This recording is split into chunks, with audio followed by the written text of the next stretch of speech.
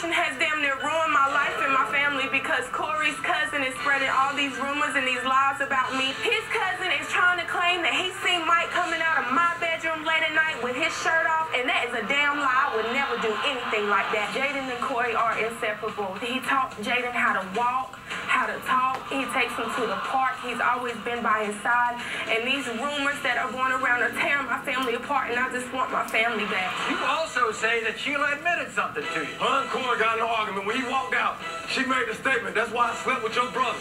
Mike is my big brother, my mentor, but he's Jaden's father. I can never forgive him. I'm angry with my cousin for spreading lies. The fact that Corey thinks I'm Jaden's father, that's beyond crazy. Now, I want y'all to be honest now before the results even come. Sheila, you wanted to tell Corey something first. I cheated on you, and Jaden made me yours. So we have a DNA test. We have a lie detector test.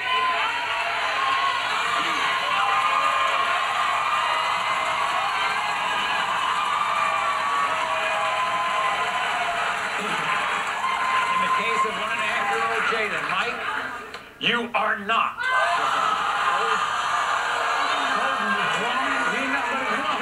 Tell me that. When it comes to one and a half year old Jaden, Corey, you are not.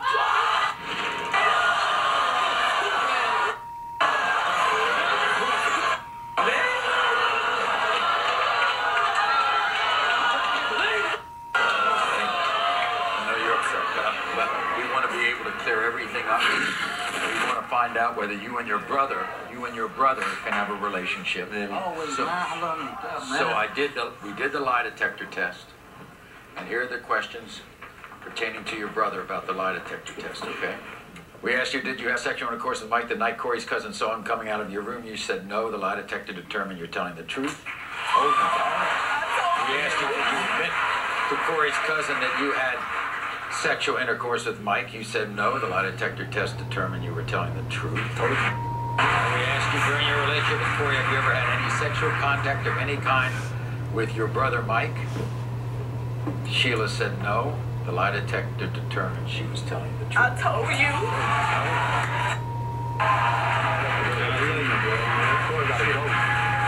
Okay. I don't know. I don't know who the birth father is. Okay. But this child's been in your life. Right. I don't know if you want him to continue in your life. I Man, that's my son regardless, but man, I let's open, boy.